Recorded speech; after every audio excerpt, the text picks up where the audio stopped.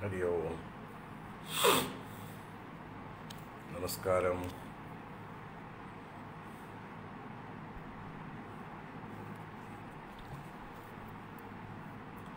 ഹരി ഓം ഹരി ഓം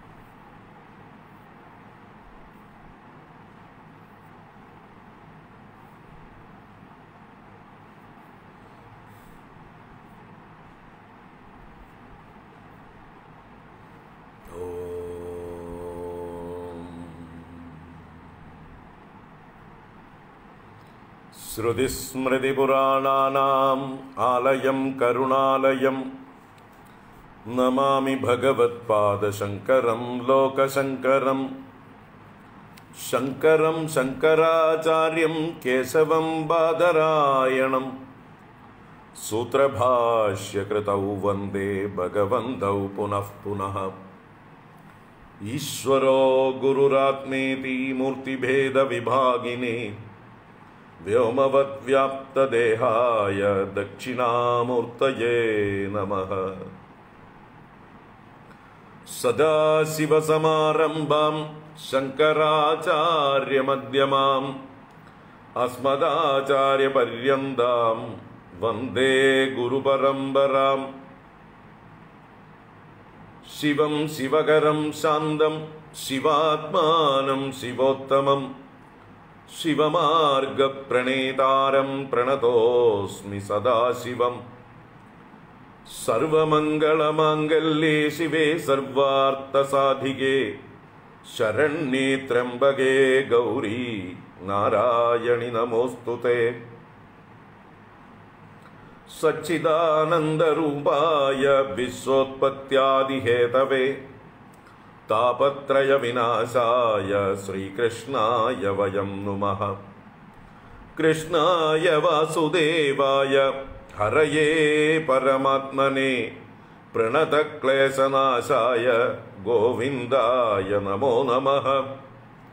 कृष्णाय वासुदेवाय देवगीनन्दनाय च नन्दगोपकुमाराय गोविन्दाय नमो नमः।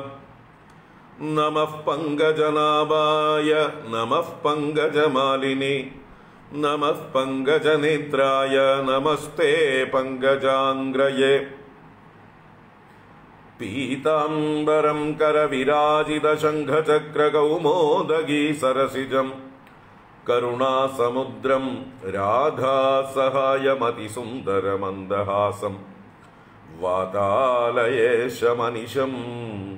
हृदि भावयामि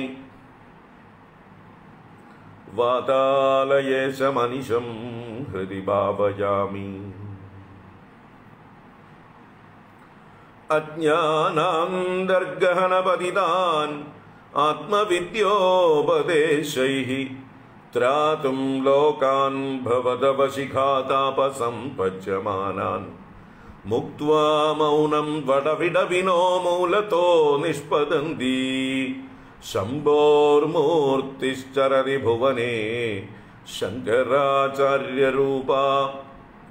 शम्भोर्मूर्तिश्चरति भुवने शङ्कराचार्यरूपा।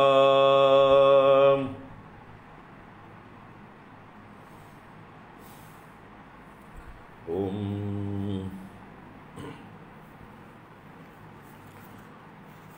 नमो भगवते वासुदेवाय। ओं नम शिवाय। ॐ श्रीमहादेव्यै नमः। ओं नम परमर्षिभ्यो नम परमर्षिभ्यः।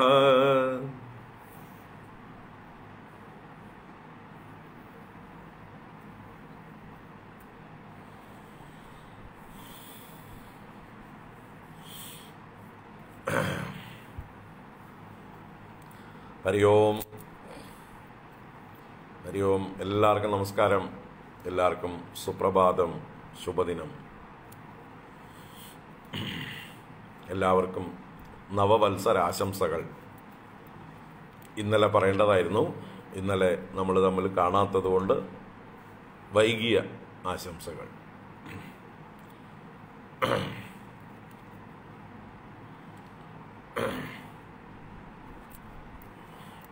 ഇന്നലെ ഒരു ദിവസം കാണാതെയിരുന്നു അല്ലേ? മിനിഞ്ഞാന്ന് എവിടെയെങ്കിലുമൊക്കെ കണ്ടു. ഇന്നലെ കാണാതെയിരുന്നു അപ്പോഴേക്കും ഓരോരുത്തരുടെ ആവലാതികൾ കൂടി. അങ്ങനെ ഒന്നുമില്ലാതിരിക്കാൻ വയ്യ എന്ന് പറഞ്ഞിട്ട് ഒരുപാട് കംപ്ലൈന്റ് അപ്പോൾ ശരി അതുകൊണ്ട് തന്നെയാണ് ഒരു ക്ലാസ്സെങ്കിലും നാളെയും രാവിലെ ചെയ്യാം. പിന്നെ നമ്മുടെ സുന്ദരകാന്ഡം ബാക്കിയായത് തുടരാനുണ്ട്. ഓണം കഴിഞ്ഞിട്ട് ഭാഗവത ജ്ഞാനഗംഗ പുനരാരംഭിക്കാം. കാരണം ഉച്ചനേരത്തെ ഓണത്തിന് സദ്യ ഒരുക്കലും മക്കളുടെയും പേരക്കുട്ടികളുടെയൊക്കെ തിരക്കുമൊക്കെ ഉണ്ടാവും വീടുകളിൽ എല്ലാവർക്കും. അപ്പോൾ അത് അനുവദിച്ച് കൊടുക്കേണ്ടതാണ്. ആ സമയത്ത് നമ്മൾ ക്ലാസ് എടുക്കുന്നതൊരു ഒരു മനസ്സിന് വിഷമം ഉണ്ടാക്കേണ്ട ആർക്കും. അയ്യോ ഞങ്ങൾക്ക് പങ്കെടുക്കാൻ പറ്റുന്നില്ലല്ലോ എന്ന് കൂടുതൽ പേർക്കും ബുദ്ധിമുട്ടാവും. അപ്പോൾ ഓണം കഴിഞ്ഞിട്ട് ഭാഗവത ജ്ഞാനഗംഗ തുടരാം.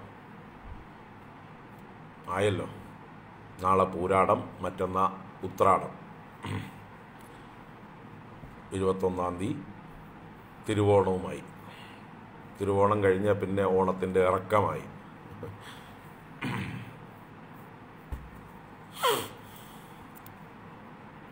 അപ്പോൾ രാവിലത്തെ ക്ലാസ്സുകൾ തൽക്കാലം തുടരാം. പ്രധാനമായിട്ട് നമ്മൾ ഭവാനി അഷ്ടകം രണ്ട് ദിവസം എടുത്ത് രണ്ട് ശ്ലോകമേ എടുത്തുള്ളൂ. ബാക്കി അവിടെ നിൽക്കുകയാണ്. അപ്പോൾ അതിന്റെ ഒരു ബുദ്ധിമുട്ടും വേണ്ട.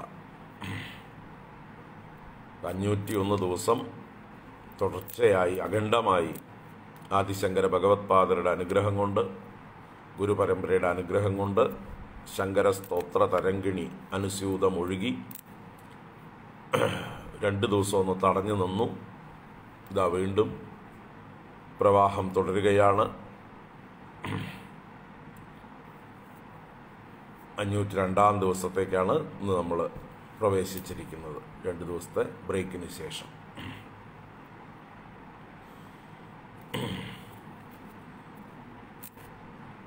യാത്ര പോയ കാര്യങ്ങളൊക്കെ വളരെ ധന്യമായിരുന്നു സഫലമായിരുന്നു. പുരുഷോത്തമാനന്ദ സ്വാമിയുടെ ജന്മഗൃഹം കാണാനും അവിടെ താമസിക്കാനും ഭാഗ്യം ലഭിച്ചു. നാരായണ ഗുരുദേവന്റെ സമാധി സ്ഥലത്ത് വർക്കല ശിവഗിരിയിൽ ചെല്ലാനും നമസ്കരിക്കാനും അതുപോലെ അവിടെ നൂറ് കൊല്ലം ജീവിച്ച ഒരു മഹാത്മാവിന്റെ സമാധിയോടനുബന്ധിച്ചുള്ള യതിപൂജയിൽ പങ്കെടുക്കാനും ഭാഗ്യം ലഭിച്ചു. അനേക മഹാത്മാക്കളെ എനിക്ക് നേരിൽ അതിലൂടെ കാണാൻ എത്രയോ കാലമായി കാണാതിരുന്ന പല മഹാത്മാക്കളെയും കാണാനുള്ള ഭാഗ്യം ലഭിച്ചു. അതിനുശേഷം വൈകുന്നേരം തിരുവനന്തപുരത്ത് ചിന്മയ പത്മനാഭത്തിൽ നടന്ന സ്വപ്രഭാനന്ദ സ്വാമിജിയുടെ ഒരു മഹാപുരുഷനാണ്. അദ്ദേഹത്തിന്റെ ശതാഭിഷേകത്തിൽ പങ്കെടുക്കാൻ ആ ആഘോഷത്തിൽ പങ്കെടുക്കാൻ സാധിച്ചു. അത് അതിലും വലിയ കാര്യം. അത് കഴിഞ്ഞ് രാത്രി മടങ്ങുന്ന വഴിക്ക് അമൃതപുരിയിൽ ചെന്ന് അമൃതാനന്ദമയി ദേവിയോടൊപ്പം അമ്മയുടെ വിസിറ്റേഴ്സ് റൂമിൽ ഒരു മണിക്കൂറോളം അമ്മയും ഞാനും ചിദാനന്ദപുരി സ്വാമിജിയും മാത്രമായിട്ട് അമ്മയുടെ രണ്ട് മൂന്ന് സന്യാസി ശിഷ്യന്മാർ കൂടെ ഉണ്ടായിരുന്നു. പക്ഷേ വിസിറ്റേഴ്സായിട്ട് ഞങ്ങൾ രണ്ടുപേരും മാത്രം ചിദാനന്ദപുരി സ്വാമിജി ഞാനും മാത്രമായിട്ട് അമ്മയുടെ കൂടെ ആ അമൃതാനന്ദമയി അമ്മയുടെ കൂടെ അമ്പത് മിനിറ്റോളം സംസാരിച്ചിരുന്നു. അമ്മ വിടുന്നില്ല. ഞങ്ങൾ അമ്മയെ വിടാൻ നോക്കിയാലും ഉച്ച അമ്മയ്ക്ക് ക്ഷീണം ഉണ്ടാവുമല്ലോ പകൽ മുഴുവനൊക്കെ പലതും ചെയ്തതല്ലേ? എന്ന് വിചാരിച്ച് ഞങ്ങൾ വിടാൻ നോക്കുമ്പോൾ അമ്മ വിടുന്നില്ല. അങ്ങനെ അമ്പത് മിനിറ്റോളം അമ്മയോട് സംസാരിച്ചിരിക്കാനുള്ള ഭാഗ്യം ലഭിച്ചു. ഒരുപാട് കാര്യങ്ങൾ ലോകത്തിന് വേണ്ടി ചെയ്യേണ്ട കാര്യങ്ങളെക്കുറിച്ച് അമ്മയുടെ ആകുലത അമ്മ ഞങ്ങളോടൊപ്പം പങ്കുവച്ചു. അതൊക്കെ നിങ്ങളൊക്കെ വേണം മക്കളെ ചെയ്യാൻ. എനിക്ക് പരിമിതികളുണ്ട്. ഞാൻ ഒരു വലിയ പരിവേഷമുള്ള ഒരു വലിയ പ്രസ്ഥാനത്തിന്റെ തലപ്പത്തായി പോയി. അപ്പം നിങ്ങളൊക്കെയാണ് ജനങ്ങളുടെ ഇടയിൽ ഇറങ്ങി പ്രവർത്തിക്കേണ്ടത് എന്നൊക്കെ പറഞ്ഞ് ഞങ്ങളെ അങ്ങോട്ട് കൂടുതൽ പ്രചോദിപ്പിച്ചു. അങ്ങനെ അന്ന് രാത്രി അമ്മയുടെ അടുത്ത് ഭക്ഷണവും കഴിച്ചിട്ടാണ് പുറപ്പെട്ട് ഇന്നലെ പുലർച്ചെയാണ് പാലക്കാട് എത്തിയത്. പുലർച്ചെ തന്നെ എത്തി. പക്ഷെ ഇന്നലെ ഉറക്കത്തിന്റെ ക്ഷീണവും മറ്റ് പല പരിപാടികളും ഉണ്ടായിരുന്നുകൊണ്ട് ഇന്നലെ ഒരു ക്ലാസ്സും എടുക്കാൻ സാധിച്ചില്ല.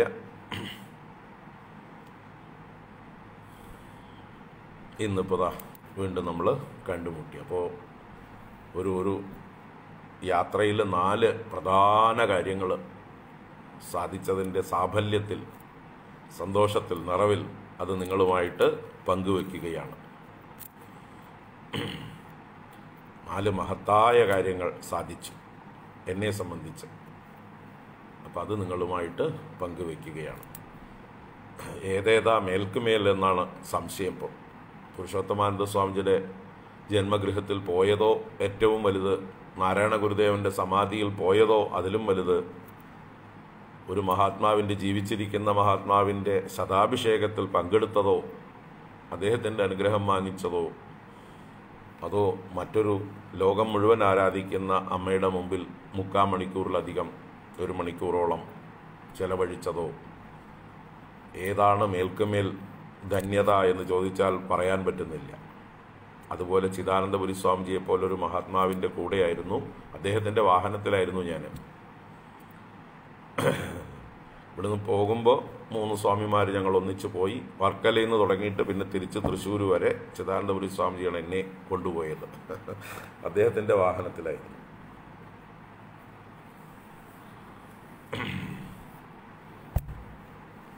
തൃശ്ശൂർ രാത്രി രണ്ട് മണിക്ക് ഞാൻ കാറ് നിർത്തിയ വീട്ടിൽ ചിദാനന്ദപുരി സ്വാമിജി പാവം എന്നെ കൊണ്ട് എത്തിച്ച് എന്നെ എന്റെ വാഹനത്തിലേക്ക് മാറ്റി.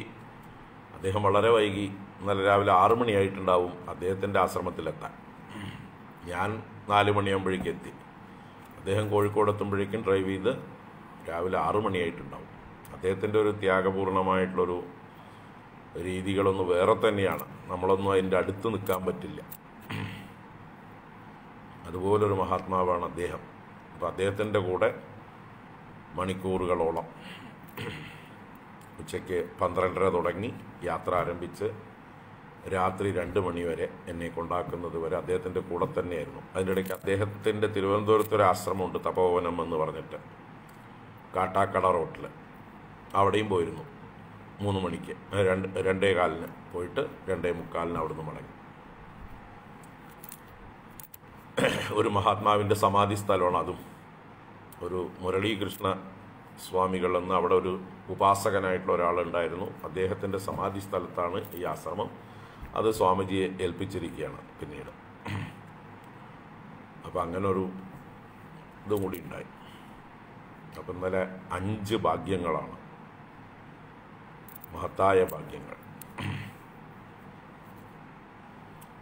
അപ്പം അതൊക്കെ നിങ്ങളുമായിട്ട് അതിന്റെ നിറവ് നിങ്ങളുമായിട്ട് പങ്കുവയ്ക്കുകയാണ് ഇനിതാ ചിങ്ങമാസ പുലരിയായി.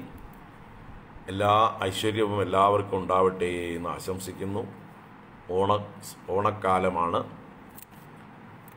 നമ്മളൊക്കെ സന്തോഷമായിട്ടിരിക്കുമ്പോൾ എത്രയോ ഭാഗ്യഹീനന്മാർ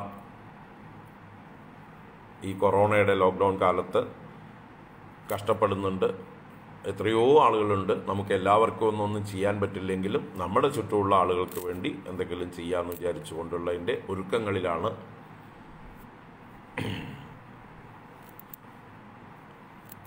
നമ്മുടെ ചുറ്റുമുള്ള ഈ ഓലശ്ശേരി പ്രദേശത്തുള്ള കുറേ പാവങ്ങൾക്ക് നൂറ് കുടുംബങ്ങൾക്ക് എല്ലാ വർഷവും കൊടുക്കുന്ന പോലെ ഒരു ഓണക്കിറ്റ് സമ്പൂർണമായിട്ടുള്ള മുപ്പത് മുപ്പത്തൊന്ന് ഐറ്റംസ് വരും അതിൽ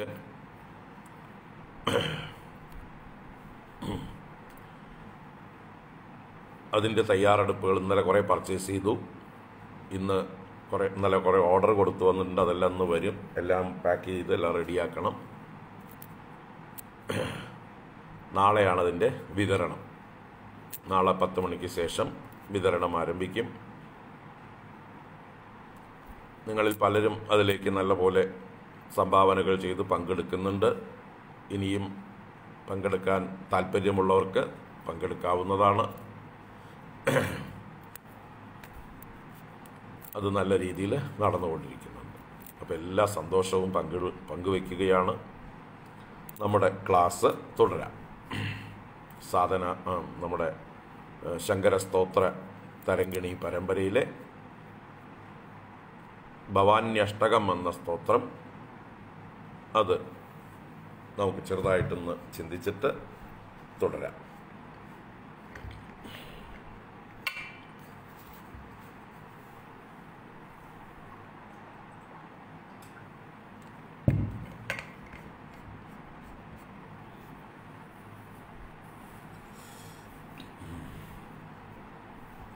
എന്റെ ഇടയിൽ ഒരുപാട് പേര് തിരുവല്ല ചെങ്ങന്നൂർ പത്തനംതിട്ട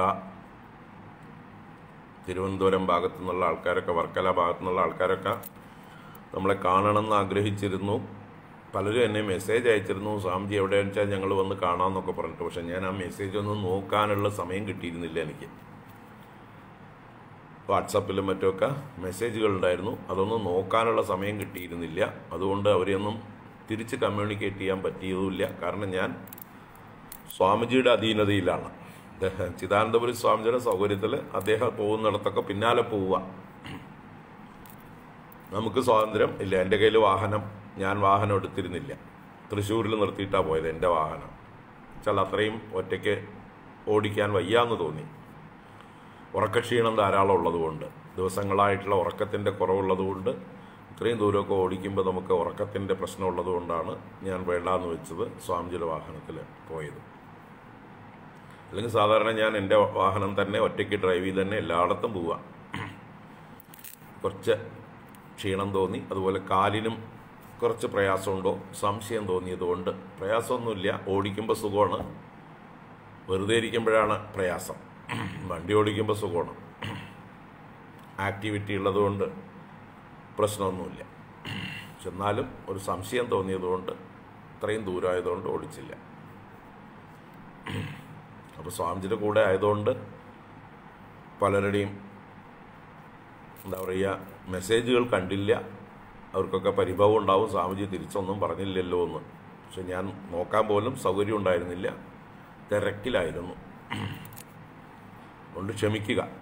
തിരുവനന്തപുരം തിരുവല്ല ചെങ്ങന്നൂർ ഭാഗത്തുള്ള പലരും പിന്നീടാണ് പരിഭവിച്ചത്. അല്ലെങ്കിൽ അറിഞ്ഞില്ലല്ലോ സ്വാമിജിയെ കാണാൻ പറ്റിയില്ലല്ലോ എന്ന് പറഞ്ഞിട്ട്. ഇനിയും കാണാം. ഇനിയും കാണാനുള്ള അവസരങ്ങൾ ഉണ്ടാവട്ടെ. അതും കൂടി പറഞ്ഞുകൊണ്ട് നമുക്ക് തുടരാം.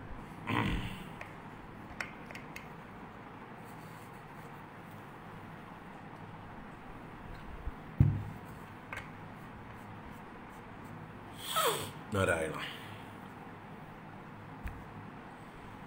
ഓം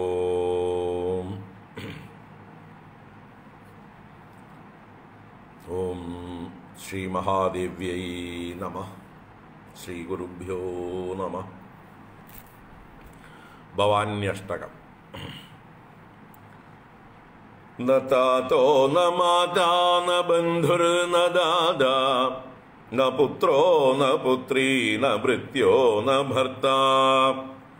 न जाया न विद्या न वृत्तिर्ममैव। गतिस्त्वं गतिस्त्वं त्वमेका भवानी। भवाब्दौ अपारे महादुःखभीरुः, पपातप्रकामी प्रलोभी प्रमत्तः। कुसंसारपाशप्रबद्धः सदाहम् गतिस्त्वं गतिस्त्वं त्वमेका भवानी।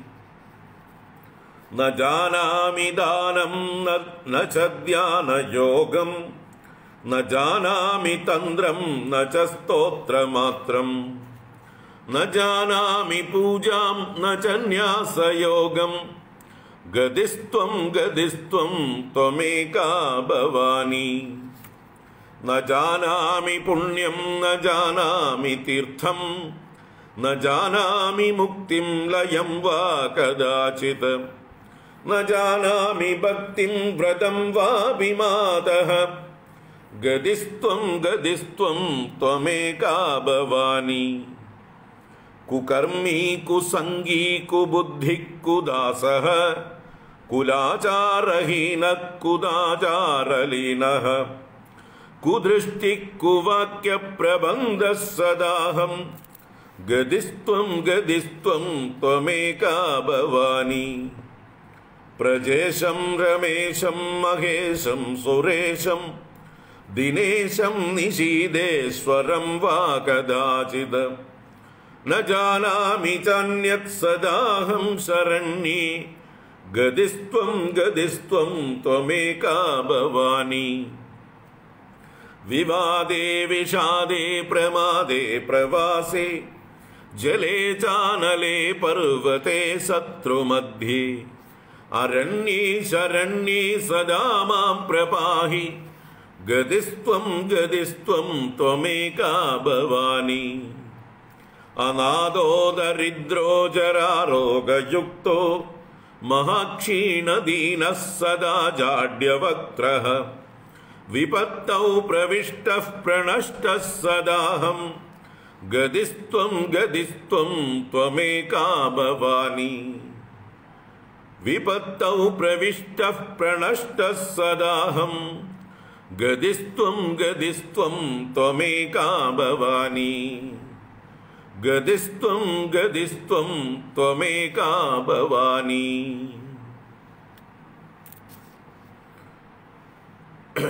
ओम् इति आदिशङ्कर भगवत्पाद कृतम् भवान्यष्टकम् सम्पूर्णम्।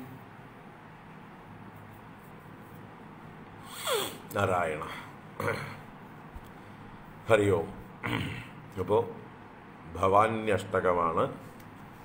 അതിന്റെ ആദ്യത്തെ രണ്ട് ശ്ലോകങ്ങൾ നമ്മൾ ആദ്യത്തെ രണ്ട് ക്ലാസ്സുകളിൽ കണ്ടിരുന്നു. മൂന്നാമത്തെ ക്ലാസ്സാണ്. വാസ്തവത്തിൽ ഈ ലോകത്തിൽ നമുക്ക് ശാശ്വതമായിട്ട് ആശ്രയിക്കാൻ പറ്റിയവരായിട്ട് ആരുമില്ല.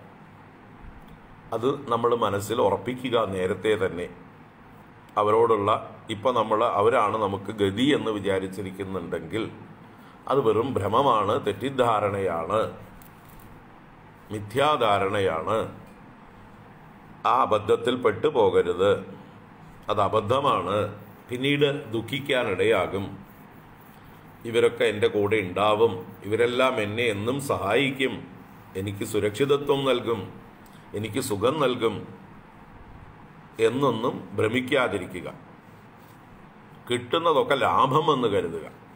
ഈ പറയുന്ന ആളുകളൊക്കെ നമുക്ക് ജീവിതത്തിൽ ഒരുപാട് വേണ്ടപ്പെട്ടവർ തന്നെയാണ് ഒരുപാട് നമ്മളെ സഹായിക്കുന്നവർ തന്നെയാണ് ഇപ്പോഴും സഹായിച്ചു കൊണ്ടേ ഇരിക്കുന്നവർ തന്നെയാണ് എങ്കിലും അവരൊന്നും ശാശ്വതമല്ല. അവരല്ല നമ്മുടെ ഗതി എന്നത് നമ്മൾ തിരിച്ചറിയണം. എന്നിട്ട് അപ്പം എന്താവും നമുക്ക്? അവരിപ്പോൾ ചെയ്തുകൊണ്ടിരിക്കുന്നതൊക്കെ നമുക്ക് ലാഭമായിട്ട് ബോണസായിട്ട് ഭാഗ്യമായിട്ട് അനുഗ്രഹമായിട്ട് വലിയൊരു കൃതജ്ഞതയോടുകൂടെ അതെല്ലാം സ്വീകരിക്കാം.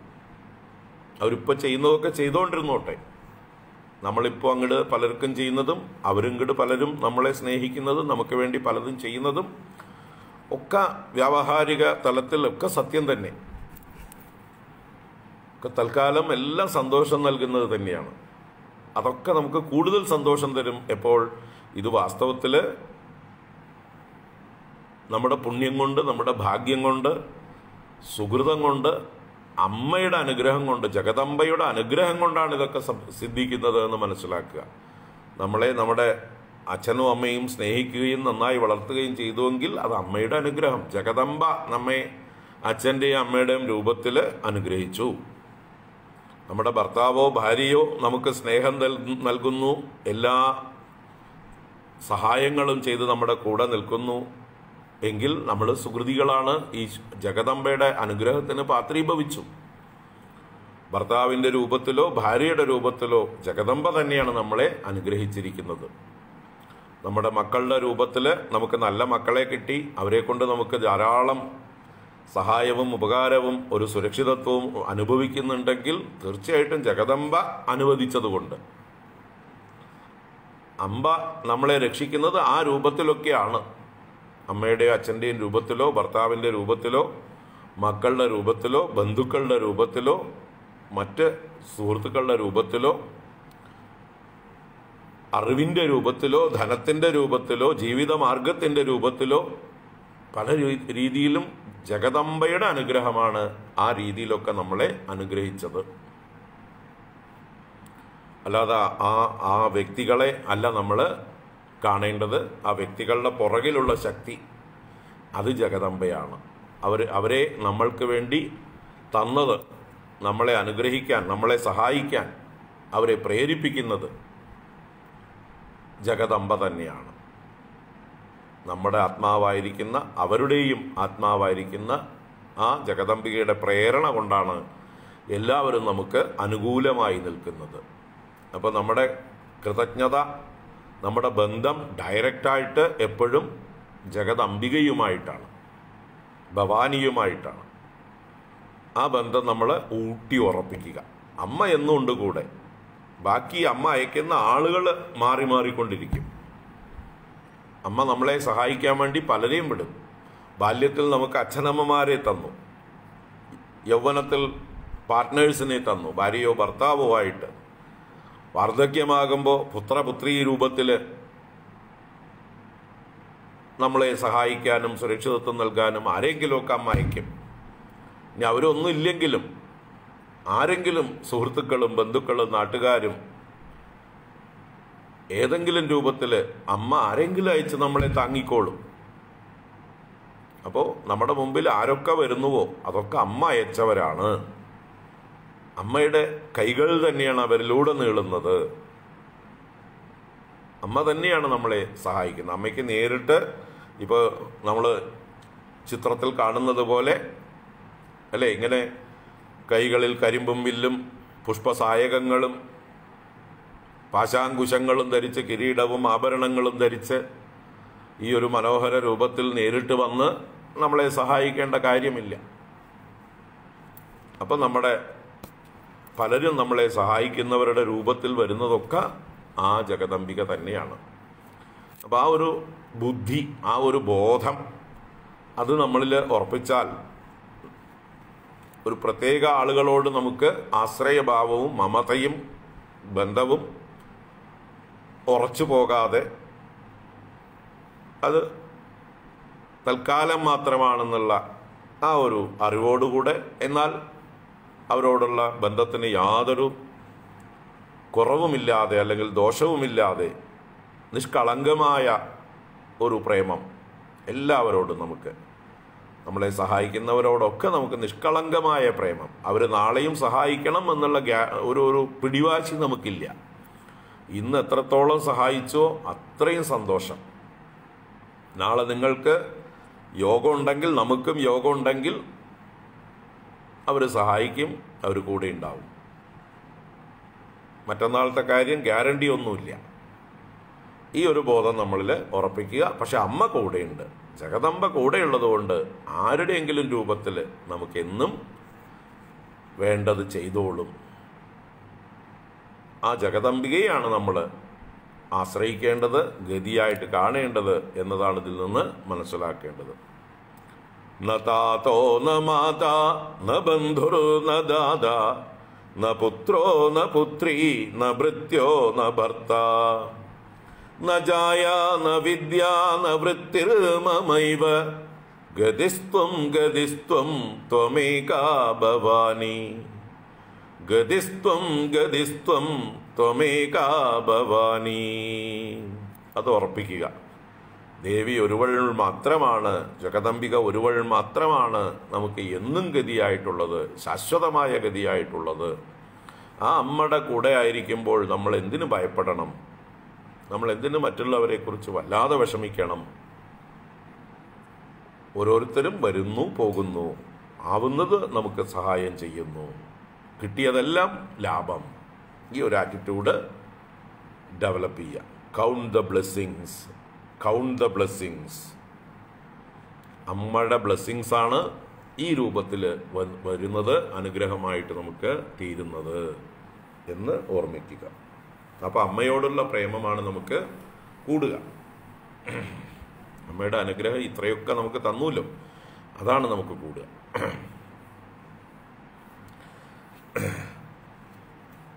ഭവാബ്ദൗ അപാരേ മഹാദുഃഖഭീരുഃ പപാതപ്രകാമീ പ്രലോഭി പ്രമത്ത കുസംസാരപാശപ്രബദ്ധ സദാഹം.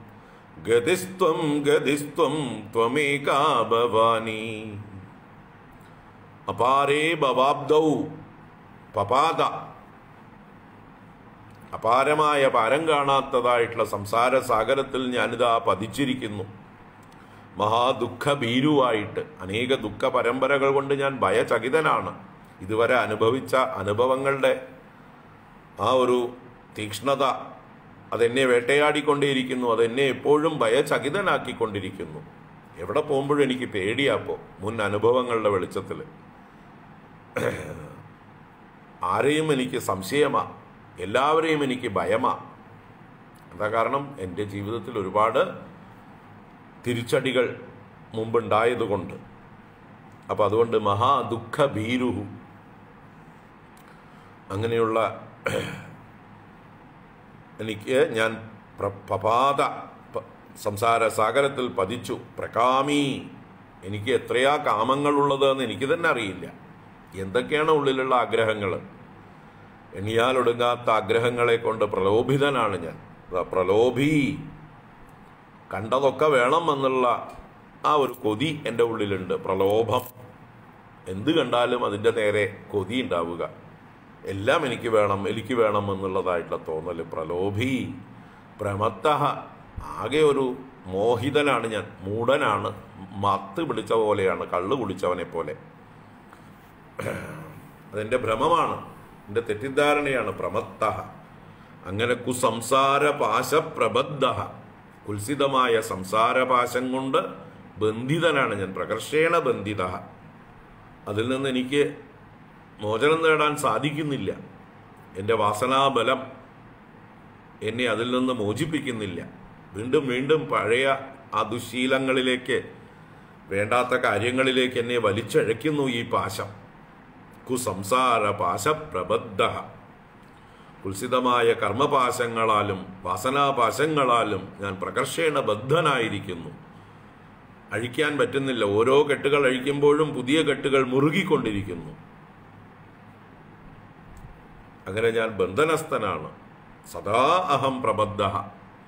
എപ്പോഴും ബന്ധനസ്ഥനാണ്. അങ്ങനെയുള്ള എന്നെ ഈ കെട്ടുകളെല്ലാം പൊട്ടിച്ച് സ്വതന്ത്രയാക്കേണ്ടത് ദേവിയുടെ മാത്രം അനുഗ്രഹം കൊണ്ടേ സാധിക്കുള്ളൂ.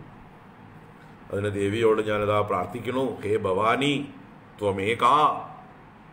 മമ ഗതിഹി മമ ഗതിഹി ത്വമേവ മമ ഗതിഹി ത്വമേവ. ദേവി തന്നെ എന്നെ രക്ഷിക്കണം. ഈ അപാരമായ സംസാര സാഗരത്തിൽ നിന്നും എന്റെ മഹാദുഃഖ ഭയങ്ങളിൽ നിന്നും എന്റെ കാമങ്ങളിൽ നിന്നും എന്റെ പ്രലോഭങ്ങളിൽ നിന്നും എന്റെ പ്രമാദങ്ങളിൽ നിന്നും ഈ സംസാരപാശത്തെ ഛേദിക്കുന്നതിൽ അമ്മ തന്നെ എന്നെ അനുഗ്രഹിച്ച് എന്നെ സ്വതന്ത്രനാക്കണം. അമ്മയല്ലാതെ വേറെ ഗതിയില്ല ഗതിയില്ല ഗതിയില്ല എന്നുള്ള ആ ഒരു തീവ്രമായൊരു പ്രാർത്ഥനയാവട്ടെ ഉള്ളിൽ നിന്നുള്ള പ്രാർത്ഥനയാവട്ടെ. മുമുക്ഷുത്വത്തിന്റെ പ്രാർത്ഥനയാവട്ടെ.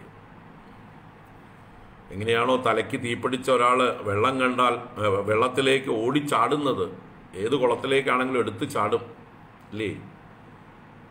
വെള്ളത്തിൽ മുങ്ങി ചാവാൻ പോകുന്ന ഒരാൾ ഒരു ഒരിറ്റ് പ്രാണവായുവിന് വേണ്ടി എത്രത്തോളം കൊതിക്കുമോ അതുപോലെ നമുക്ക് ഈശ്വരനോട് അല്ലെങ്കിൽ ഭഗവതിയോട് ആശ്രയഭാവം ഭക്തിഭാവം ഉണ്ടാവട്ടെ തീവ്രമായിട്ടുണ്ടാവട്ടെ അതിലേക്കൊക്കെ പ്രേരിപ്പിക്കുന്നതായിട്ടുള്ളൊരു പ്രയോഗമാണ് ഗതിസ്ത്വം ഗതിസ്ത്വം ഗതിസ്ത്വം ത്വമേകാ ഭവാനി ത്വമേകാ ഭവാനി എന്നൊക്കെ പറയുമ്പോൾ അത് ഉള്ളിൽ തട്ടി.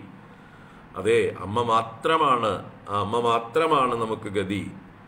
വേറെ നമ്മൾ ആരെയൊക്കെ ഗതിയായിരിക്കുന്നു കരുതിയോ? അവരൊക്കെ നമ്മളെ വിട്ടുപോയി. പലരും നമ്മുടെ പ്രതീക്ഷയ്ക്ക് വിരുദ്ധമായി പ്രവർത്തിക്കുന്നു. നമ്മൾ വിചാരിച്ചു അവരൊക്കെ നമ്മളെ ചതിച്ചു എന്ന്. വാസ്തവത്തിൽ അവരല്ല ചതിക്കുന്നത്. നമ്മൾ നമ്മളെ ചതിച്ചതാണ്. നമ്മൾ എന്തിനാ അവർ നമുക്ക് ഗതിയായിരിക്കുന്നു തെറ്റിദ്ധരിക്കുന്നു? അവർ ഗതിയായിരിക്കുന്നു നമ്മൾ തെറ്റിദ്ധരിച്ച് നമ്മൾ തന്നെ നമ്മളെ ചതിച്ചതാണ്. അവരെ അവരുടെ പാട്ടിന് വിടുക. അവർ നിങ്ങളുടേതാണെന്നോ അവർ നിങ്ങളെ എന്നും സഹായിക്കുമെന്നോ നിങ്ങളുടെ കൂടെ ഉണ്ടാവുമെന്നോ അങ്ങനെ കരുതാതിരിക്കുക. അങ്ങനെ കരുതിയതാണ് അബദ്ധം. അപ്പം നിങ്ങൾ നിങ്ങളെ തന്നെ അറിവില്ലായ്മ കൊണ്ട് വഞ്ചിച്ചതാണ്. നിങ്ങൾക്ക് പറ്റിയ അബദ്ധമാണ്. ആരും പറഞ്ഞില്ല അങ്ങനെ ചെയ്യാൻ.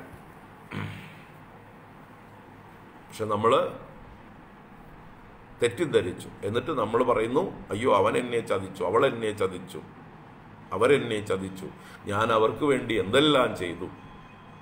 എന്ന് നമ്മൾ നിരാശരാകുന്നു എന്തിനു നിരാശ? നമ്മൾക്ക് അർഹിക്കുന്നതേ നമുക്ക് കിട്ടുള്ളൂ. ഓരോരുത്തരും സ്വതന്ത്രരാണ് അവരവരുടെ പാട്ടിന്. അവർ നമ്മളെ സഹായിച്ചോളണം എന്നും നമ്മുടെ കൂടെ ഉണ്ടായിക്കൊള്ളണം എന്ന് യാതൊരു നിയമവുമില്ല ഒരു നിർബന്ധവുമില്ല. ഈശ്വര അനുഗ്രഹമുണ്ടെങ്കിൽ പലരും നമ്മുടെ കൂടെ ഉണ്ടാവും. നമ്മൾ ചെയ്ത സുഹൃതത്തിന്റെ ഫലമായിട്ട് നമ്മൾക്ക് ക്ലേശങ്ങളില്ലാതിരിക്കാൻ പലരും നമ്മുടെ ചുറ്റും ഉണ്ടായി എന്ന് വരും. നമ്മൾ ചെയ്യുന്ന സുഹൃതത്തിന്റെ ഫലമായിട്ടാണ് അത് ചെയ്തുകൊണ്ടേയിരിക്കുക സുഹൃതങ്ങൾ ചെയ്തുകൊണ്ടേയിരിക്കുക കൊടുത്താൽ കൊല്ലത്തും കിട്ടും എന്ന് പറയും പോലെ എപ്പോഴും കൊടുത്തുകൊണ്ടിരിക്കുക. എപ്പോഴും നല്ല കർമ്മങ്ങൾ നമ്മൾ ചെയ്തുകൊണ്ടിരിക്കുക. നമ്മൾ നല്ലത് ചെയ്യുമ്പോൾ പ്രതീക്ഷിക്കരുത്. ഇന്ന എനിക്ക് തിരിച്ചു തരുന്ന നമ്മൾ ആർക്ക് വേണ്ടി ചെയ്യുന്നുവോ അവരായിരിക്കില്ല നമുക്ക് തിരിച്ചു തരിക. അവരിൽ നിന്ന് തിരിച്ച് പ്രതീക്ഷിക്കുന്നതാണ് തെറ്റ്. ഭഗവതി തരും. ദേവി തരും. ആരിൽ നിന്നെങ്കിലും തിരിച്ചു തരും. ഏതെങ്കിലും രൂപത്തിൽ തിരിച്ചു തരും. നമ്മൾ ചെയ്യേണ്ടത് ചെയ്താൽ മതി. നമ്മുടെ നമ്മുടെ മുമ്പിൽ വരുന്ന ആളുകൾക്ക് വേണ്ട സഹായം ചെയ്യുക. നമ്മുടെ മക്കളായിരിക്കുന്നവരെ നമ്മൾ വളർത്തി വലുതാക്കുക. അത് നമ്മുടെ കർത്തവ്യം നമ്മുടെ ധർമ്മം. ആ മക്കൾ വലുതായി വരുമ്പോൾ നമ്മുടെ കൂടെ ഉണ്ടാവണമെന്നോ നമ്മളെ രക്ഷിക്കണമെന്നോ നമുക്ക് വേണ്ടതൊക്കെ നമ്മുടെ ഇഷ്ടത്തിന് പ്രവർത്തിക്കണമെന്നോ ഒരു നിയമവുമില്ല. ഒരു നിയമവുമില്ല. അവർ സ്വതന്ത്ര വ്യക്തികളാണ്. അവർക്ക് സ്വന്തം പ്രാരബ്ധങ്ങളുണ്ട്. അവരുടെ പ്രാരബ്ധം അവരെ എവിടേക്കൊക്കെ വലിച്ചഴയ്ക്കുന്നുവോ അവിടേക്കൊക്കെ അവർ പോകും. അതുകൊണ്ട്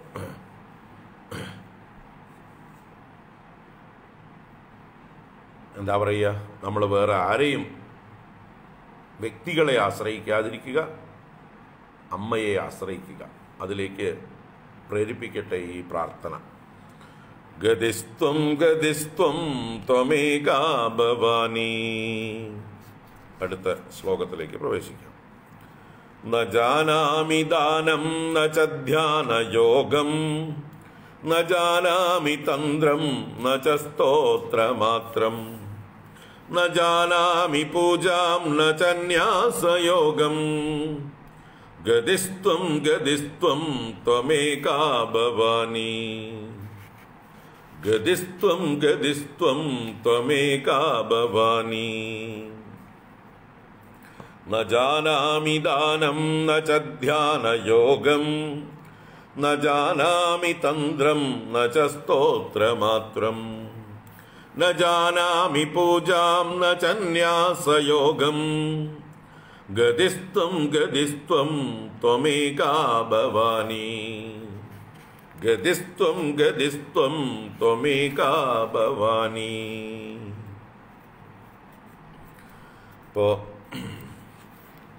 പുണ്യകർമ്മങ്ങൾ പലതുണ്ട് ഈശ്വര ആരാധനാ സമ്പ്രദായങ്ങൾ പലതുണ്ട് ഇതൊക്കെ നമുക്ക് സുഹൃതം സമ്പാദിക്കുന്നു സമ്പാദിച്ചു തരുന്നു. ആ സുഹൃതത്തിന്റെ ഫലമാണ് നമ്മൾ അനുഭവിക്കുന്ന സുഖങ്ങൾ. എത്രത്തോളം സുഹൃതം ചെയ്യാൻ പറ്റുന്നുവോ അത്രത്തോളം നമുക്ക് ജീവിതത്തിൽ നന്മകളുണ്ടാകും അനുകൂല സാഹചര്യങ്ങളുണ്ടാവും. നമ്മൾ പാപങ്ങൾ ചെയ്യുന്നത് നമ്മുടെ ജീവിതത്തിൽ തന്നെ തിരിച്ചടികളായി പ്രതികൂല സാഹചര്യങ്ങളായി ഭവിക്കും. പുണ്യം കൊണ്ട് സുഖവും പാപം കൊണ്ട് ദുഃഖവുമാണ്. ഇതാണ് കലാകാലങ്ങളായിട്ട് നമ്മുടെ പൂർവീകരുടെ അനുഭവത്തിൽ നിന്ന് അവർ നിശ്ചയിച്ചിട്ടുള്ള ഒരു നിയമം. ഇതൊരു നിയമമാണെന്ന് വെച്ചോളൂ. പുണ്യം കൊണ്ട് സുഖവും പാപം കൊണ്ട് ദുഃഖവും. ഇത് ഉറപ്പിച്ചു വെക്കണം നമ്മുടെ ഉള്ളിൽ അപ്പം മാത്രമേ നമ്മുടെ ഉള്ളിൽ പാപവാസന ഇല്ലാതിരിക്കുള്ളൂ. അരുതാത്തത് ചെയ്യാൻ മറ്റുള്ളവർക്ക് ദുഃഖമുണ്ടാക്കുന്ന പ്രവൃത്തികൾ നമ്മുടെ ഭാഗത്തുനിന്ന് ചിന്തിക്കാൻ പോലും നമുക്ക് തോന്നരുത്. മറ്റുള്ളവർക്ക് ദുഃഖമാകുന്ന പ്രവൃത്തികളെയാണ് പാപങ്ങൾ എന്ന് പറയുന്നത്. ഭാവിയിൽ നമ്മുടെ അധപ്പതനത്തിന് കാരണമാകുന്നതും പാപമാണ്. ഭാവിയിൽ നമ്മൾ അധപ്പതിച്ചാൽ നമ്മൾ മറ്റുള്ളവർക്ക് കൂടുതൽ ദുഃഖം കൊടുക്കും. അപ്പോൾ ഇന്നിപ്പോൾ ചിലപ്പോൾ ഡയറക്റ്റായിട്ട് നമ്മളെ മാത്രമേ ബാധിക്കുന്നുണ്ടാവുള്ളൂ മറ്റൊരാളെ ബാധിക്കുന്നുണ്ടാവില്ല. പക്ഷെ നാളെ അത് മറ്റുള്ളവരെ ബാധിക്കും.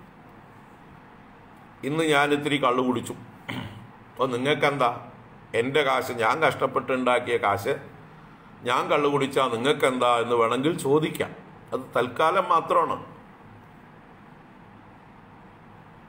ഞാൻ കള്ളു കുടിച്ചാൽ എന്റെ ബോധമല്ലേ പോകുന്നുള്ളൂ? എന്റെ കാശല്ലേ പോകുന്നുള്ളൂ? എന്ന് വേണമെങ്കിൽ വിഡ്ഢിത്തരം ചോദിക്കാം.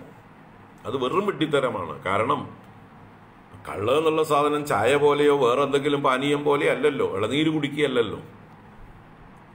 അത് നാളെ നിങ്ങളെ ആ കള്ള് നിങ്ങളെ അടിമയാക്കും. ഇന്ന് നിങ്ങൾ കള്ള് കുടിച്ചാൽ നാളെയും കള്ള് വേണമെന്ന് തോന്നും. മറ്റന്നാ അതില്ലാതെ ആവില്ല. നാലാം നാൾ നിങ്ങൾ അതിനുവേണ്ടി എന്ത് കൊള്ളരുതായ്മയും ചെയ്യും. അങ്ങനെ അതിന്റെ അടിമയായിട്ട് പിന്നീട് നിങ്ങൾ സ്വതന്ത്രനല്ലാതെയാവും. നിങ്ങൾക്ക് ധർമ്മം ചെയ്യാൻ പറ്റാതെയാവും. അപ്പം നിങ്ങൾക്ക് സ്വധർമ്മം ചെയ്യാൻ ഭാവിയിൽ തടസ്സമാകാവുന്ന കാര്യങ്ങൾ കൂടി ഇന്ന് അത് മറ്റൊരാളെ ഡയറക്റ്റായിട്ട് ബാധിക്കുന്നില്ലെങ്കിൽ പോലും അത് പാപമാണ്. കാരണം മറ്റന്നാളേക്ക് പാപം ചെയ്യാനുള്ള ഇൻവെസ്റ്റ്മെന്റാണ് ഇപ്പോൾ ചെയ്യുന്നത്. എത്ര ആളുകളാണ് ഈ മദ്യപാനത്തിന് അടിമകളായിട്ട്? എന്തെല്ലാം ദ്രോഹങ്ങളാണ് അവർ പിന്നീട് ചെയ്യുന്നത്? അവരുടെ കുടുംബത്തെ നോക്കാതെ കുടുംബത്തിനെ ഉപദ്രവിച്ചുകൊണ്ട് സ്വബോധമില്ലാതെ ഉടുവ ഉടുതുണിയില്ലാതെ തെരുവുകളിൽ അലയുന്നതും വീണ് കിടക്കുന്നതും അതുകൊണ്ട് കുടുംബത്തിനുണ്ടാവുന്ന മാനഹാനി എത്രയോ നല്ല ആളുകളായിരിക്കാം ബന്ധുക്കളൊക്കെ. അവർക്കൊക്കെ നാണക്കേടുണ്ടാക്കുന്ന ഒരു വ്യക്തി മതി. ഉടുതുണിയില്ലാതെ വൃത്തികേടും കാണിച്ചുകൊണ്ട് തെരുവിൽ മദ്യപാനിയായിട്ട് നടന്നാൽ. അവരുടെ ആരുടെയും ദോഷം കൊണ്ടല്ല പറയാൻ. അവരാരുമല്ല തെറ്റുകാര്. ഈ ഒരേ ഒരു വ്യക്തി ഏതോ കൂട്ടുകെട്ടിൽപ്പെട്ടു ആ കൂട്ടുകെട്ടിൽ നിന്ന് ഈ വേണ്ടാത്ത ശീലം അഭ്യസിച്ചു.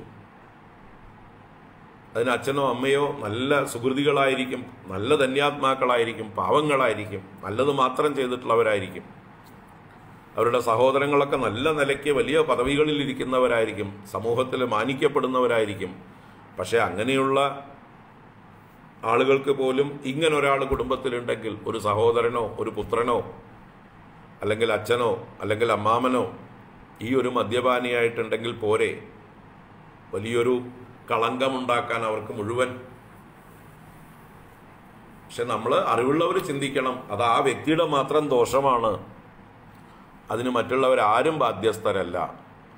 ആ വ്യക്തി എവിടെയോ ചെന്നു ഏതോ ദേശത്ത് ചെന്നു ജോലിയായിട്ടോ വിദ്യാഭ്യാസത്തിനായിട്ടോ ഏതെങ്കിലും എവിടെയെങ്കിലും ചെന്ന് താമസിച്ചപ്പോൾ അവിടുന്ന് കിട്ടിയ കൂട്ടുകാരിൽ നിന്ന് കിട്ടിയ ശീലമാണ്. അല്ലാതെ അച്ഛനും അമ്മയും ഒഴിച്ചു കൊടുത്ത് പഠിപ്പിച്ചതല്ല. സഹോദരങ്ങൾ ഒഴിച്ചു കൊടുത്ത് പഠിപ്പിച്ചതല്ല. മോനെ കുടിക്കേട്ടോ കുടിക്കേട്ടോ എന്ന് പറഞ്ഞ് കുടിപ്പിച്ചതല്ല. അപ്പോൾ എവിടുന്നോ പഠിച്ചു അതൊരു ശീലമായി അടിമയായി എന്നിട്ട് തോന്നിയവാസിയായി ഉണ്ടായിരുന്ന ജോലി കളഞ്ഞു കയ്യിലുണ്ടായിരുന്ന പൈസ മുഴുവൻ കളഞ്ഞു. മാനവും നാണവും ഇല്ലാതായി വിവാഹം കഴിച്ചിട്ടുണ്ടെങ്കിൽ ഭാര്യ ഉപേക്ഷിച്ചു പോകും മക്കൾക്ക് അച്ഛനെ വിലയില്ലാതാവും.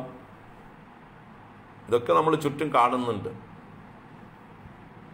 അപ്പോൾ ഒരു മദ്യപാനം പാപമാണോ എന്ന് ചോദിച്ചാൽ ഇന്ന് നിങ്ങൾക്ക് വേണമെങ്കിൽ ജസ്റ്റിഫൈ ചെയ്യാം. ഞാൻ എന്റെ കാശ് കൊണ്ട് ഞാൻ എന്തെങ്കിലും വെള്ളം കുടിക്കണു ചായ കുടിക്കുന്നതിന് പകരം കള്ളു കുടിക്കണു? അതിന് നിങ്ങൾക്ക് എന്താ എന്ന് ചോദിക്കാം. മൂടന്മാരുടെ ചോദ്യമാണ് അതൊക്കെ. അതുകൊണ്ടാണ് അതൊക്കെ പാപം എന്ന് പറഞ്ഞത്. ഭാവിയിൽ പാപത്തിന് കാരണമാകുന്നത് ഇന്ന് ഡയറക്റ്റ് പാപമല്ലെങ്കിലും നാളെ പാപത്തിന് കാരണമാകുന്നത്. ആ ഒരു വാസന തെറ്റായ വാസനയാണ്. മദ്യപാനമാകട്ടെ. അതുപോലെയുള്ള ആരോഗ്യത്തിന് ഹാനികരമായിട്ടുള്ള ഡ്രഗ്സോ അതുപോലെയുള്ള കാര്യങ്ങളോ ഒക്കെ തന്നെ. തൽക്കാലം നമുക്ക് ആരോഗ്യമുള്ളപ്പോൾ നമ്മൾ അതിന്റെ ആദ്യമായിട്ടൊക്കെ ചെയ്യുമ്പോൾ ഒരു ദോഷം തോന്നില്ല. ഓ ഞാനിത്തിരി ഇന്ന മരുന്ന് കഴിച്ചാൽ എന്താ? ഞാനിത്തിരി പുക വലിച്ചാൽ എന്താ? ഇത്തിരി കഞ്ചാവ് അടിച്ചാൽ എന്താ? ആർക്കാ ദോഷം? എന്നൊക്കെ ചോദിച്ചു എന്ന് വരും. പക്ഷെ പിന്നീട് ഇതിനടിമയായി കഴിഞ്ഞാൽ പിന്നെ പിന്നെന്താ ചെയ്യാന്ന് പറയാൻ പറ്റില്ല. എത്രയോ യുവതികളായിട്ടുള്ള സ്ത്രീകൾ ചെറുപ്പക്കാർ ഇന്ന് നമ്മുടെ കേരളത്തിൽ ഈ ഡ്രഗ്സിന് കഞ്ചാവിന് അതുപോലെയുള്ളതിനൊക്കെ അടിമകളായിട്ടുണ്ട്.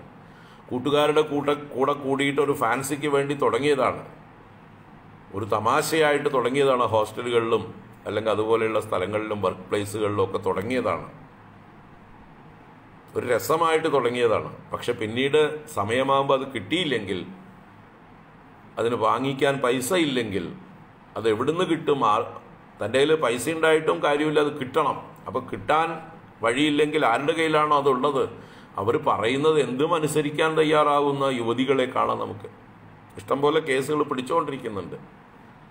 അപ്പോൾ തനിക്ക് കഞ്ചാവോ അതുപോലെയുള്ള ഡ്രഗ്സോ കിട്ടണമെങ്കിൽ വേറൊരാളുടെ കൂടെ കിടക്കണം എന്ന് പറഞ്ഞാൽ അതിന് തയ്യാറാണ്. ആരുടെയൊക്കെ കൂടെ വേണമെങ്കിൽ കിടക്കാൻ തയ്യാർ എനിക്ക് മരുന്ന് വേണം. എന്ന് പറയുന്ന ഒരവസ്ഥയിലേക്ക് നമ്മുടെ കേരളത്തിലെ യുവത വന്നു ചേർന്നിരിക്കുന്നു. അപ്പോൾ അത് തൽക്കാലം നമുക്ക് പാപമെന്ന് തോന്നില്ല. ഞാൻ ആരെയും വേദനിപ്പിക്കുന്നില്ല. എന്റെ കാശ് എന്റെ ആരോഗ്യം അതിന് നിങ്ങൾക്ക് എന്താന്ന് ചോദിക്കും. പക്ഷെ നാളെ അത് വലിയ അപകടത്തിലേക്കാണ് പോയി- പോകുന്നത് എന്നുള്ള ദീർഘവീക്ഷണം കൊണ്ടാണ് നമ്മുടെ പൂർവികന്മാർ ഇങ്ങനെയുള്ള കർമ്മങ്ങളൊക്കെ പാപമാണ് എന്ന് പറഞ്ഞത്. സ്ത്രീ വിഷയമാണെങ്കിലും നമ്മളുടെ മനസ്സിനെ നിയന്ത്രിക്കാൻ സാധിച്ചില്ലെങ്കിൽ അത് ശീലമാക്കി കഴിഞ്ഞാൽ പിന്നെ നമ്മൾ എവിടെയാണ് ആരെയാണ് എന്താണെന്നൊരു വ്യവസ്ഥയില്ലാതായിപ്പോ അപ്പം ഇങ്ങനെ ചില കാര്യങ്ങളൊക്കെ പാപങ്ങളാണ് എന്ന് വെച്ചു. അത് ഇമ്മീഡിയറ്റ് പാപമായിട്ട് തോന്നില്ലെങ്കിലും പിന്നീട് വലിയ പാപങ്ങളിലേക്ക് അത് നയിക്കും. അപ്പോൾ അതിനു വേണ്ടിയിട്ടാണ് സൽക്കർമ്മങ്ങൾ ചെയ്ത് ശീലിക്കാൻ നമ്മുടെ പൂർവികർ നമ്മളെ പഠിപ്പിക്കുന്നത്. എന്നും നല്ലത് മാത്രം ചെയ്യുക. ലോകത്തിന് ഉപകാരപ്രദമായതും നമ്മളെ മോചിപ്പിക്കുന്നതും ആത്മനോ മോക്ഷായ ജഗത് ഹിതായ ഉപനിഷത് വചനമാണ്. ആത്മനോ മോക്ഷായ ജഗത് ഹിതായ. ഇതായിരിക്കണം നമ്മുടെ ജീവിതത്തിൽ ഏത് പ്രവൃത്തിയുടെയും പുറകിലുള്ള മോട്ടിവേഷൻ മോട്ടോ. ഇതാണ് രാമകൃഷ്ണ മിഷന്റെ മോട്ടോ. ഏതാണ് രാമകൃഷ്ണ മിഷന്റെ മോട്ടോ ആയിട്ട് വിവേകാനന്ദ സ്വാമികൾ നിശ്ചയിച്ചത് ആത്മനോ മോക്ഷാർത്ഥം ജഗത് ഹിതായ ആത്മനോ മോക്ഷാർത്ഥം ജഗത് ഹിതായ ച. അപ്പൊ നമ്മുടെ ചെയ്യുന്ന പ്രവൃത്തികൾ നാളെ നമ്മളെ അടിമയാക്കരുത്. നമ്മളെ സ്വാതന്ത്ര്യത്തിലേക്ക് നയിക്കുന്ന പ്രവൃത്തികളായിരിക്കണം നമ്മൾ ചെയ്യുന്നത്. അതുപോലെ നമ്മൾ ചെയ്യുന്ന പ്രവൃത്തികൾ കൊണ്ട് ഇന്നും നാളെയും മറ്റുള്ളവർക്ക് പ്രയോജനമുണ്ടാകണം. ഈ ചിന്ത. ഈ ചിന്ത ഉണ്ടാവണം. അവനാണ് മനുഷ്യൻ. അതാണ് മനുഷ്യത്വം. നമ്മളെ അടിമകളാക്കുന്നതോ നമ്മളെ നാശത്തിലേക്ക് തള്ളിയിടുന്നതോ അതുപോലെ മറ്റുള്ളവർക്ക് ഹാനികരമായതോ അഹിതമായതോ അപ്രിയമായതോ ആയിട്ടുള്ള കാര്യങ്ങൾ ചെയ്യാതിരിക്കലാണ് പുണ്യം എന്ന് പറയുന്നത്. അപ്പൊ അപ്പോൾ മാത്രമേ നമുക്ക് ഭാവിയിൽ സുഖമുണ്ടാവുള്ളൂ. അതാണ് സുഖത്തിലേക്കുള്ള ഇൻവെസ്റ്റ്മെന്റ് ബാക്കിയൊക്കെ നിങ്ങൾ ദുഃഖത്തിലേക്കുള്ള ഇൻവെസ്റ്റ്മെന്റ് നിങ്ങൾ അറിയാതെ നടത്തിക്കൊണ്ടിരിക്കുകയാണ്. എന്നിട്ട് നിങ്ങൾ ദുഃഖം വരുമ്പോൾ കരഞ്ഞിട്ട് കാര്യമില്ല. വേറെ ആരും നിങ്ങളുടെ തലയിൽ കെട്ടിവെച്ചതല്ല ദുഃഖം. നിങ്ങൾ ദുഃഖിക്കുന്നുവെങ്കിൽ നിങ്ങൾ ചെയ്ത പൂർവകർമ്മങ്ങളുടെ ഫലമാണ്. താൻ താൻ നിരന്തരം ചെയ്യുന്ന കർമ്മങ്ങൾ താൻ താൻ അനുഭവിച്ചിടുകെന്നേ വരൂ. അതുകൊണ്ട് ഇത് തിരിച്ചറിയുക. ഞാനിപ്പോൾ ദുഃഖം അനുഭവിക്കുന്നുണ്ടെങ്കിൽ ഞാൻ മുമ്പ് ചെയ്ത ഏതൊക്കെയോ ദുഷ്കൃതങ്ങളുടെ ഫലമാണ് പാപങ്ങളുടെ ഫലമാണ്. ഇനി ഞാൻ സുഖം അനുഭവിക്കുന്നുണ്ടെങ്കിലും അതും ഞാൻ മുമ്പ് ചെയ്ത സുഹൃതങ്ങളുടെ പുണ്യകർമ്മങ്ങളുടെ ഫലമാണ് സത്കർമ്മങ്ങളുടെ ഫലമാണ്. അത് തീർന്നു പോകരുത്. ഇപ്പോൾ ഞാൻ സുഖം അനുഭവിക്കുന്നുണ്ട് അത് മുമ്പ് പുണ്യം ചെയ്തത് കൊണ്ടാണ് അതുകൊണ്ട് എന്നും അത് ലാസ്റ്റ് പുണ്യം ക്ഷയിക്കും. ക്ഷീണേ പുണ്യേ മർത്യലോകം വിശന്തി. വീണ്ടും നമ്മൾ അതപ്പതിക്കും. അതുകൊണ്ട് എന്തു ചെയ്യണം? ഇപ്പോഴും സുഖം അനുഭവിക്കുമ്പോഴും പൂർവ പുണ്യത്തിന്റെ സുഖമാണ് അനുഭവിക്കുന്നത് എന്ന് മനസ്സിലാക്കി ഇനിയും പുണ്യം തുടർന്നുകൊണ്ടേയിരിക്കുക നാളേക്കുള്ള ഇൻവെസ്റ്റ്മെന്റ് ആയിട്ട്. രാവണനോട് ആഞ്ജനേയസ്വാമി പറയുന്നത് കണ്ടില്ലേ സുന്ദരകാന്ഡത്തിൽ അദ്ദേഹത്തിന്റെ പ്രതാപം കണ്ട് ആഞ്ജനേയസ്വാമിക്ക് പോലും കണ്ണു തള്ളിപ്പോയി എന്തൊരു പ്രൗഢി എന്തൊരു മഹത്വം. എല്ലാം തികഞ്ഞൊരു പുരുഷൻ. സൗന്ദര്യത്തിന് സൗന്ദര്യം ആരോഗ്യത്തിന് ആരോഗ്യം പ്രശസ്തി പ്രശസ്തിക്ക് പ്രശസ്തി ബന്ധുജനം ധനം എല്ലാം സമൃദ്ധി. എന്നിട്ട് പറയണ്ട ആഞ്ജനേയസ്വാമി രാവണനോട് പറയണു അങ്ങിപ്പോൾ അനുഭവിക്കുന്നത് അങ്ങയുടെ പൂർവധർമ്മങ്ങളുടെ ഫലമാണ്. മുമ്പ് ചെയ്ത ധർമ്മങ്ങളുടെ ഫലമാണ് അങ്ങ് അനുഭവിക്കുന്ന ഈ ഒരു മഹത്വം. അത് പരതാരത്തെ അപഹരിച്ചു കൊണ്ടുവരിക എന്നുള്ള പാപം കൊണ്ട് അങ്ങ് നശിപ്പിച്ചു കൊണ്ടിരിക്കുന്നു അങ്ങ് മഹാനാശത്തിലേക്ക് പോയിക്കൊണ്ടിരിക്കുന്നു. പരതാരങ്ങളെ അവരുടെ സമ്മതം കൂടാതെ അങ്ങ് അപഹരിച്ചു കൊണ്ടുവന്നത് വലിയ പാപമാണ്. തിരിച്ചേൽപ്പിക്കുക എങ്കിൽ അങ്ങേക്ക് അങ്ങയുടെ ഈ പ്രതാപം എന്നും ഉണ്ടാവും. സീതയെ തിരികെ കൊടുക്കുക. സീതയുടെയും രാമന്റെയും ദുഃഖം. അത് ഭാവിയിൽ അങ്ങേക്ക് വലിയ മഹാദുഃഖമായി മാറും എന്നങ്ങ് തിരിച്ചറിയണം. അതുകൊണ്ട് വേഗം സീതയെ തിരിച്ചു കൊടുക്കുക. അങ്ങയുടെ ധർമ്മം നശിക്കാതിരിക്കണമെങ്കിൽ അങ്ങയുടെ പുണ്യം അങ്ങയുടെ സുഹൃതം അങ്ങയുടെ സുഖം നശിക്കാതിരിക്കണമെങ്കിൽ വേഗം സീതയെ തിരിച്ചു കൊടുക്കുക എന്ന് പറഞ്ഞ് നല്ല ഉപദേശം ആഞ്ജനേയ സ്വാമി കൊടുക്കുന്നത് കാണാം. അപ്പം അതുപോലെ ആയിരിക്കണം നമ്മളും. ഇപ്പൊ സുഖമുണ്ട് എന്ന് കരുതി എന്നും അപ്പോൾ അപ്പൊ നാളേക്കുള്ള സുഖത്തിന് വേണ്ടി ഇന്നത്തെ നമ്മുടെ സാഹചര്യങ്ങളെ വിനിയോഗിക്കുക. ഇന്ന് കിട്ടുന്ന സാഹചര്യങ്ങളെ വിനിയോഗിച്ചാൽ നാളേക്കുള്ള ഇൻവെസ്റ്റ്മെന്റ് ആയിരിക്കും. അത് തുടർന്നുകൊണ്ടേയിരിക്കുക. നമുക്ക് ജീവിതത്തിൽ എന്നും അനുകൂല സാഹചര്യം എല്ലാവരും പ്രതീക്ഷിക്കുന്നു. എത്ര ത്യാഗിയും എത്ര യോഗിയും എത്ര ജ്ഞാനിയും ഒക്കെ ആയിക്കോട്ടെ. ആർക്കും ക്ലേശങ്ങൾ പ്രയാസം തന്നെയാണ്. ഇപ്പോൾ രോഗാദി ദുരിതങ്ങൾ വന്നു കഴിഞ്ഞാൽ നമ്മുടെ എല്ലാം പോകും. നമ്മളെ വേദനിപ്പിക്കുന്നതായിട്ടുള്ള രോഗം നമ്മളെ കാർന്ന് തിന്നുകയാണെങ്കിൽ നമ്മുടെ ഉള്ളിലുള്ള ആത്മബോധമൊക്കെ നഷ്ടപ്പെട്ടു പോകും. നാരായണ ഗുരുദേവൻ അല്ല നമ്മുടെ നാരായണ ഭട്ടതിരിപ്പാട് പ്രാർത്ഥിക്കുന്നത് അത് തന്നെയാണ്. കല്യതാം മമ കുരുഷ്വ താവതീം കല്യത്തെ യയാ. സ്പഷ്ടമഷ്ടവിധയോഗചര്യയാ പുഷ്ടയാശു തവ തുഷ്ടിമാപ്നുയാം. അപ്പൊ നമുക്ക് ആ കല്യത വേണം. കല്യതാം മമ കുരുഷ്വ താവതീം കല്യത്തെ ഭവതുപാസനം യയാ. ഈശ്വരോപാസനം ചെയ്യണമെങ്കിൽ പോലും എന്ത് വേണം? ശരീരത്തിന് സ്വസ്ഥത വേണം. ആരോഗ്യം വേണം. ശരീരത്തിന് മാത്രമല്ല ബാക്കിയെല്ലാം മനസ്സ് സ്വസ്ഥമായിരിക്കണമെങ്കിൽ ബാക്കി പ്രശ്നങ്ങൾ ഇല്ലാതിരിക്കണം നമുക്ക് ധ്യാനിക്കാൻ കഴിയണമെങ്കിൽ മനസ്സ് സ്വസ്ഥമാകണം. മനസ്സ് സ്വസ്ഥമാകണമെങ്കിൽ ചുറ്റുപാട് നമ്മളെ വേട്ടയാടുന്ന പ്രശ്നങ്ങളൊന്നും ഉണ്ടാവരുത്. നമുക്ക് അസ്വസ്ഥതകൾ ഉണ്ടാക്കുന്ന പ്രശ്നങ്ങൾ അത് നമ്മുടെ മനസ്സിന് ഏകാഗ്രത ഇല്ലാതാക്കും. നമ്മൾ ധ്യാനിക്കാൻ നേരത്തെ ആ ചിന്തകളെ വരുള്ളൂ. നമ്മളെ ഉപദ്രവിച്ചുകൊണ്ടിരിക്കുന്ന ചുറ്റുപാടുകളിൽ നിന്നുള്ള അതിനെക്കുറിച്ചിട്ടുള്ള ചിന്തയായിരിക്കും നമ്മളെ ധ്യാനിക്കുന്ന സമയത്ത് വേട്ടയാടുക. എന്തിനെ ധ്യാനിക്കണോ അത് മാത്രം തോന്നില്ല. ആരൊക്കെ നമ്മളെ ഉപദ്രവിക്കുന്നു അവരെക്കുറിച്ച് ധ്യാനിക്കും നമ്മൾ. അവരെ എങ്ങനെ നശിപ്പിക്കാം എന്നുള്ളതായിരിക്കും പിന്നത്തെ ധ്യാനം. അപ്പോൾ അതുകൊണ്ട് നമുക്ക് ശത്രുക്കളില്ലാതിരിക്കണം. നമുക്ക് ആരോഗ്യം വേണം. നമുക്ക് ദാരിദ്ര്യം അല്ലാതെ നമ്മളെ പീഡിപ്പിക്കരുത്.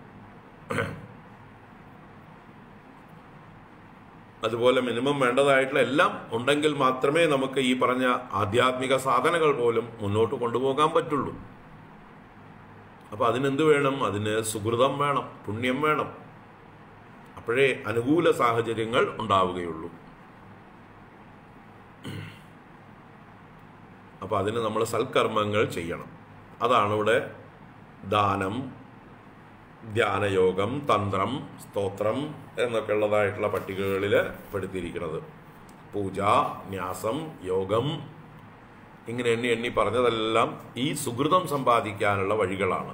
ഈ പുണ്യം സമ്പാദിക്കാനുള്ള വഴികളാണ് അതിനെയാണ് ഇവിടെ എണ്ണി എണ്ണി പറഞ്ഞത്. ന ജാനാമി ദാനം ന ധ്യാനയോഗം ന ജാനാമി തന്ത്രം ന- നാമി സ്തോത്രമാത്രം പൂജാം ന ച ന്യാസയോഗം ഗതിസ്ത്വം ഗതിസ്ത്വം ത്വമേകാ ഭവാനി ഗതിസ്ത്വം ഗതിസ്ത്വം ത്വമേകാ ഭവാനി ഈ ശ്ലോകം നാളെ വ്യാഖ്യാനിക്കാം. ഒന്നും പറഞ്ഞില്ല. എന്താണെന്ന് ചുരുക്കി പറയുകയാണ് ചെയ്തത്. നാളെ കാണാം. കുറച്ച് തിരക്കുകളുള്ള ദിവസമാണ്. അതുകൊണ്ട് നാളെ വീണ്ടും എട്ട് മണിക്ക് കാണാം. ഇന്ന് വേറെ ക്ലാസ്സുകളൊന്നും ഇല്ല. എല്ലാവർക്കും ശുഭദിനം ആശംസിക്കുന്നു. ആയുരാരോഗ്യ സൗഖ്യം ആശംസിക്കുന്നു. ആധ്യാത്മിക പുരോഗതി ആശംസിക്കുന്നു. എല്ലാ നന്മകളും ഉണ്ടാവട്ടെ. നല്ലൊരു ഓണം വരാനിരിക്കുന്നു. അതും ആശംസിക്കുന്നു. നാളെ കാണാം. ഹരിയോം